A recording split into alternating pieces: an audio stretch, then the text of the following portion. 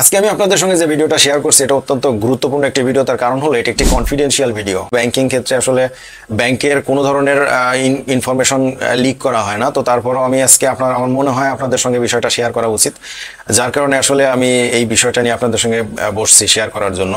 তো মূলত আমরা সবাই জানি যে এস আলম আসলে বিভিন্ন ব্যাংক থেকে, সব মিলে প্রায় আটটা ব্যাংক থেকে প্রচুর পরিমাণ টাকা সরিয়ে ফেলেছেন।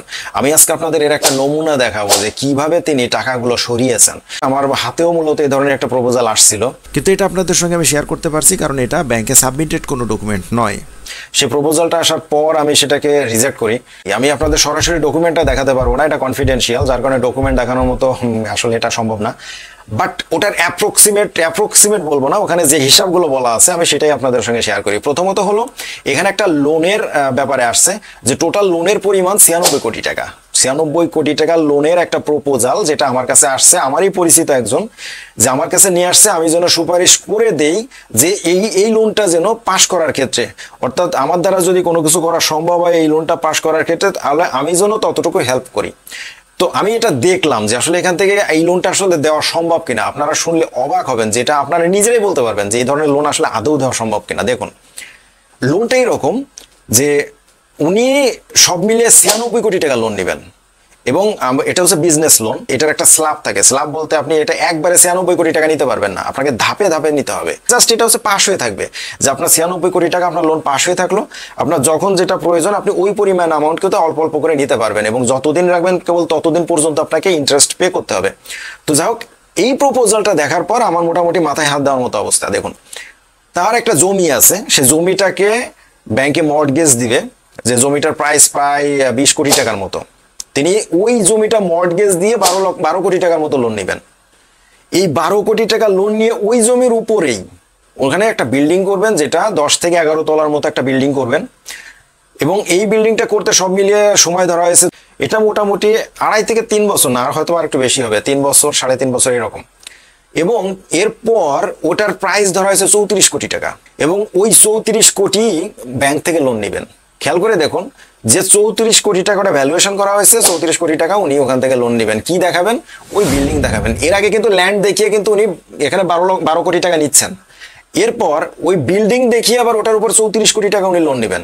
আর এই যে চৌত্রিশ কোটি টাকা লোন উনি নেবেন, এই চৌত্রিশ কোটি টাকা দিয়ে উনি একটা ফ্যাক্টরি করবেন, ওই বিল্ডিংয়েই সেটা পরিচালিত হবে। সেই ফ্যাক্টরির মেশিনারিজগুলা কিনবেন, যেটার প্রাইস হবে চৌত্রিশ কোটি টাকা। পুরা টাকাটা দিয়ে কিন্তু মেশিনারিজ কিনবেন। এবং ওই মেশিনারিজ এর উপরে কিন্তু কোনো ধরনের লোন কিন্তু এখনও নেন নাই। উনি লোন নিয়েছেন প্রথমত ল্যান্ডের উপরে, এরপরে হাউসের উপরে, এরপরে ধরছেন কোথায়? যে চৌত্রিশ কোটি টাকার তার মেশিনারিজ আছে। আমরা জানি যে বিজনেসের ক্ষেত্রে যে মেশিনারিজ থাকে সেটার উপরে সেটাও ভ্যালুয়েশন করা হয় এবং তার উপরে লোন দেওয়া হয়। তিনি ওইখানে তিরিশ কোটি টাকা লোন ধরেছেন। যে তার মেশিন চৌত্রিশ কোটি টাকা, উনি ওখান থেকে তিরিশ কোটি টাকা লোন ওটা ভ্যালুয়েশন করছেন যে তিরিশ কোটি টাকা ওখান থেকে লোন নেবেন।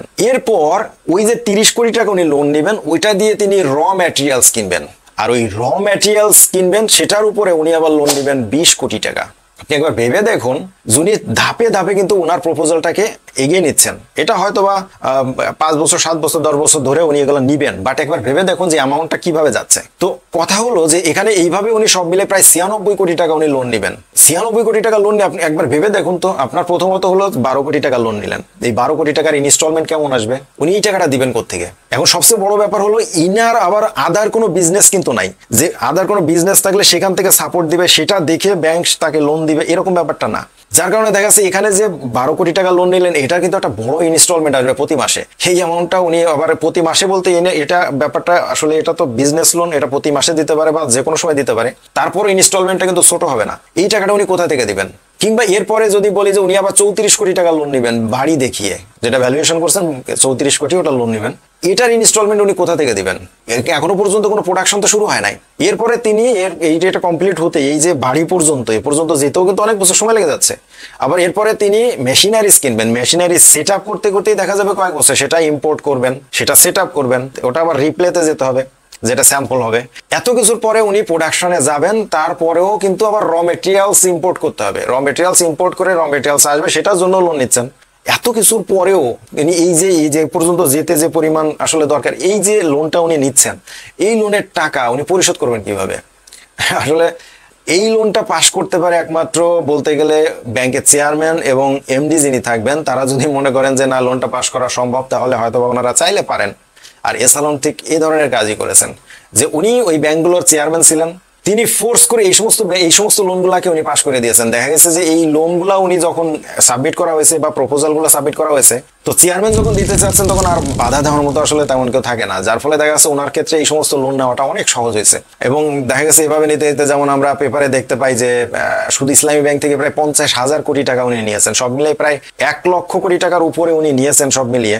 এই ওনার ছয়টা থেকে আটটা ব্যাংক যে রয়েছে। তাহলে ঠিক এই সিস্টেমে উনি টাকাগুলো নিয়েছেন। আর যার টাকা তাকে পে করতেই হয় নাই। কেননা তিনি চেয়ারম্যান টাকা না দিলে বলার মতো কেউ নাই।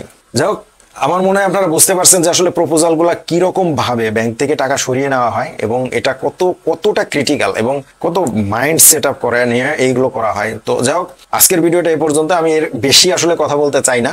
শুধু আপনাদেরকে দেখাইলাম যে আসলে কীভাবে একটা ব্যাংকের টাকা অন্য জায়গায় চলে যায়।